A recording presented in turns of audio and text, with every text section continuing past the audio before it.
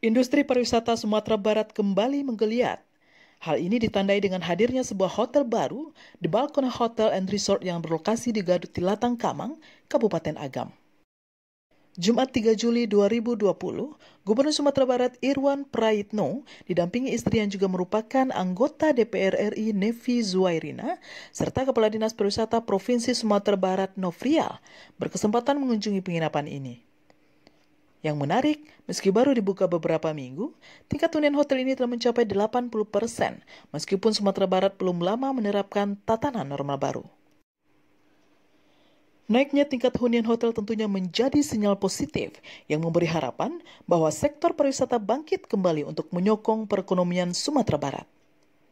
Untuk itu, Gubernur sangat mengapresiasi hadirnya di Balkon Hotel and Resort di Ranah Minang. Alhamdulillah, walaupun baru beberapa minggu buka sudah okupansi sampai 80% luar biasa.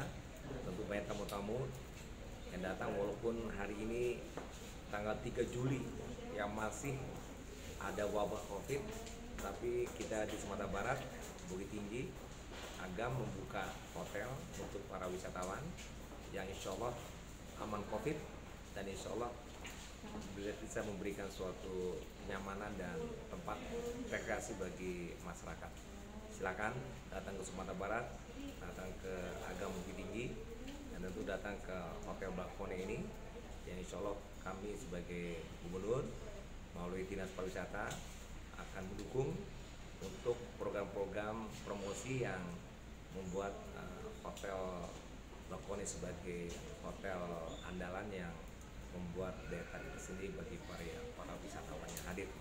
Mudah-mudahan hadir selalu ke Sumatera Barat dan mudah-mudahan Sumatera Barat sebagai tempat destinasi yang baik untuk kita khususnya pada saat wabah COVID-19. Sekian, Assalamualaikum warahmatullahi wabarakatuh. Tim Kreatif Dinas Pariwisata Provinsi Sumatera Barat melaporkan.